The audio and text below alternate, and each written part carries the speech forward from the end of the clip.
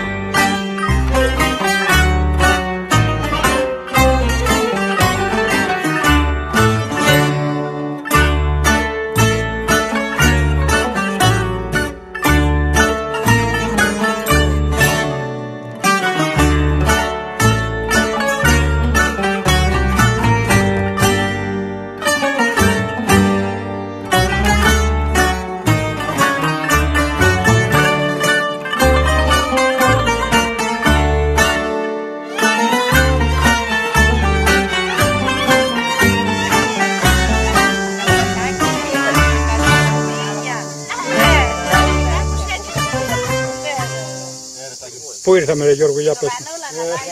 Σκουρίδια, τα κουλίμ σκουρίδια λέγονται. Μπράβο. Ήρθαμε στα σκουρίδια και τι κάναμε; Ρίγανη. Μαζέψαμε Να ρίγα. είναι ριγανούλα. Τα μάζεψα όλα εγώ.